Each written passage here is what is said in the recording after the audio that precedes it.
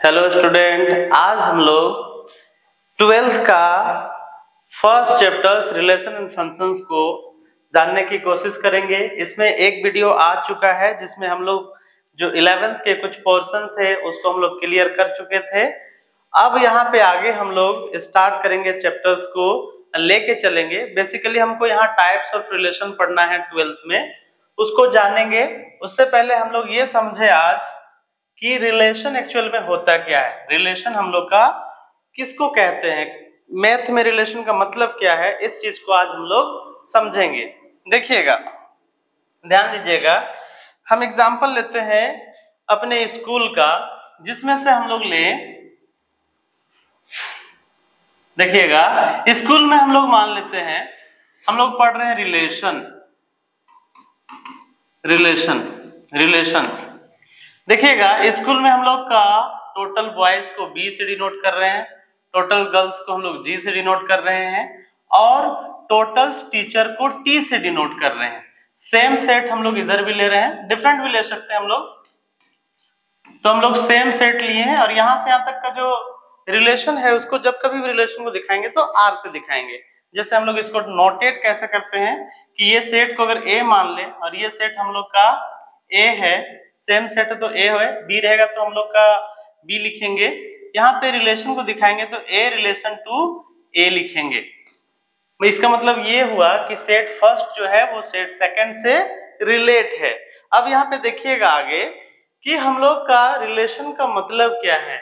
समझेंगे, अगर हम लोग का किसी बॉयज़ को रिलेशन में जोड़ना चाहते हैं, किसी अदर बॉयज़ के साथ तो बहुत तरीके से जुड़ सकते हैं। या तो उसका ब्रदर होगा, या फिर हम लोग का उसका हाइट इससे छोटा होगा। बहुत सारे ऐसे हम लोग जनरल रिलेशन देखने को मिल जाएगा। उसी को मैथ में हम लोग कैसे रिप्रेजेंट करते हैं, कैसे दिखाते हैं, यहाँ पे हम लोग रिलेशन पे पढ़ेंगे।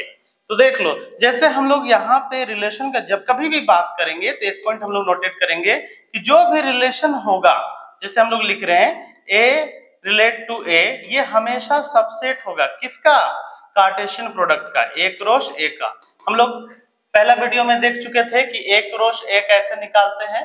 तो देखिएगा, एक क्रॉस ए कैसे निकालेंगे। फ़र्स्ट का एलिमेंट उठाएँगे और सेकेंड का एलिमेंट उठाएँगे। फिर हम लोग ले लेंगे फ़र्स्ट का पहला एलिमेंट सेकेंड का सेकेंड एलिमेंट फिर फ़र्स्ट का फ़र्स्ट एलिमेंट और फिर सेकेंड का थर्ड एलिमेंट इस तरह से सारे एलिमेंट हम लोग लिख लेंगे।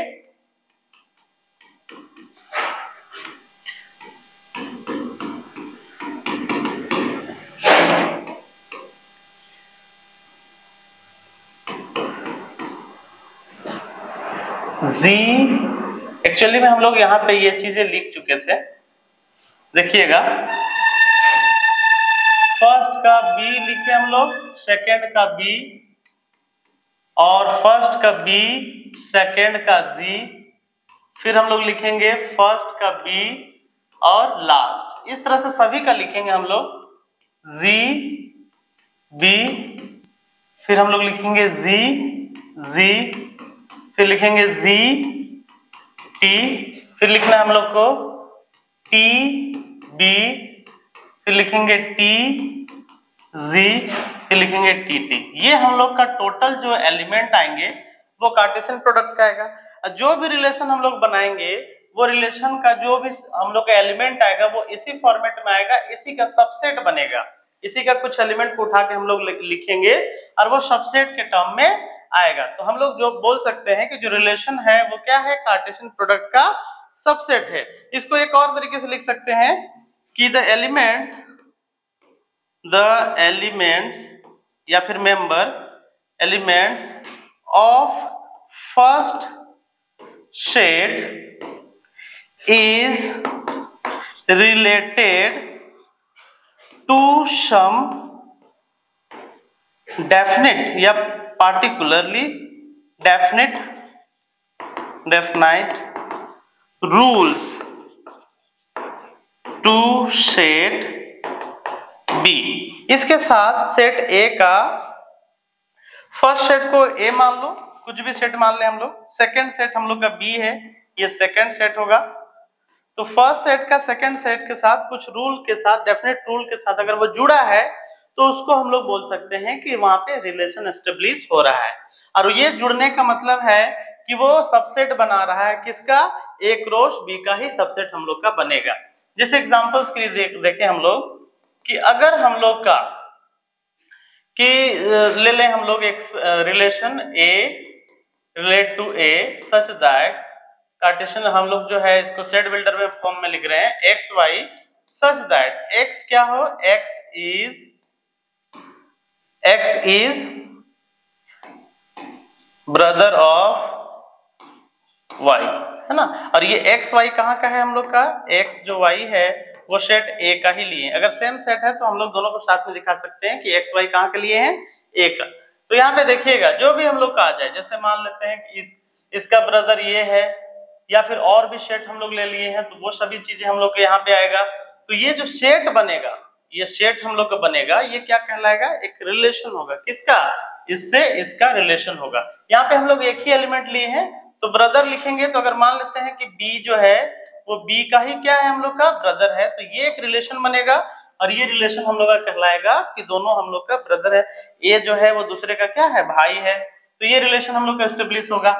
फिर अगर हम लोग देखें कि सिस्टर का अगर रिलेशन कराएँ कि जो फ़र्स्ट सेट है वो सेकंड सेट में सिस्टर के साथ जुड़ा है कि वो उसकी सिस्टर है तो वो सारी चीज़ें हम लोग यहाँ पे मेंशन कर सकते हैं। तो बहुत सारे ऐसे रिलेशन हम लोग का एस्टेब्लिश हो सकता है जो क्या होगा इसी का एक सबसेट हम लोग का होगा। अब इसमें दो तरह के एक पर्टिकुलर रिलेशन होते हैं उसको समझने की कोशिश करेंगे। जैसे हम लोग बनाए यहाँ पे आ, ले ले सेकेंड में ए रिलेशन टू ए यहाँ पे रिलेशन बनाते हैं एक्स वाई सच दैट यहाँ पे ले लेते हैं, हमारे स्कूल में जो हाइट्स होंगे, सभी का उसका रिलेशन बनाते हैं। कि height of height of x is height of x is greater than y by कितना ग्रेटर है? बाय टेन फीट अगर हम लोग यहाँ पे मेंशन कर रहे हैं कि जो x का हाइट है, x का जो हाइट है height of x is greater than y by 10 feet अगर 10 फीट उसका जो हाइट है वो ज़्यादा है तो वहाँ पे क्या करेंगे हम लोग? जब कभी भी x का हाइट को मेजर करने चलेंगे और उससे मेजर करके देखेंगे तो वो हाइट हमेशा क्या आएगा? टेन से बड़ा नहीं आ सकता, टेन फीट से बड़ा नहीं आएगा। तो इस केस में जो भी हम लोग के एलिमेंट यहाँ पे मेंशन होंगे, वो क्या आएँगे? फाई आएँगे, कुछ भी नहीं आएगा। तो इस केस में हम लोग का रिलेशन क्या हुआ? खाली हुआ। रिलेशन में कोई एलिमेंट नहीं आया। तो इस तरह के रिलेशन को हम लोग बोलते हैं इम्प्टी रिलेशन इम्प्टी रिलेशन ये रिलेशन क्या रिलेशन कहलाएगा? इम्प्टी रिलेशन एक रिलेशन देखिएगा, जब कभी भी हम लोग रिलेट करें और यहाँ पे हम लोग लिखे कि एक्स वाई एलिमेंट उठाए हैं शेड से, और ऐसे एलिमेंट लिखे हैं कि height height of x and y height of x and y is always greater than या फिर स्मॉलर देन लिख सकते हैं। Smaller than smaller than ten feet ten feet से क्या है हम लोग का?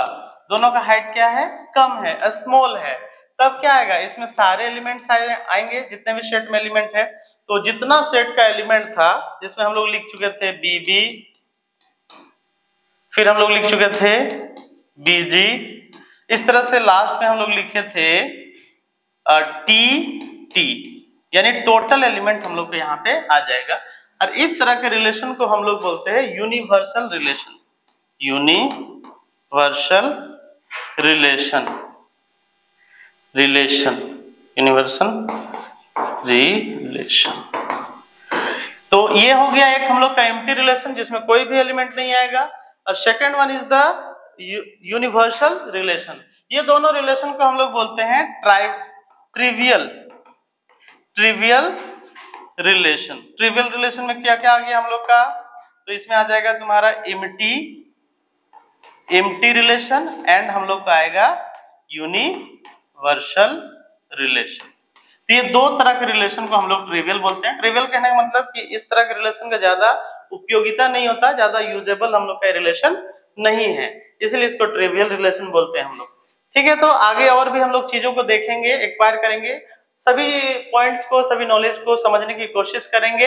अगर मेरा वीडियो अच्छा लगे तो लाइक करिए और चैनल को सपोर्ट करिए।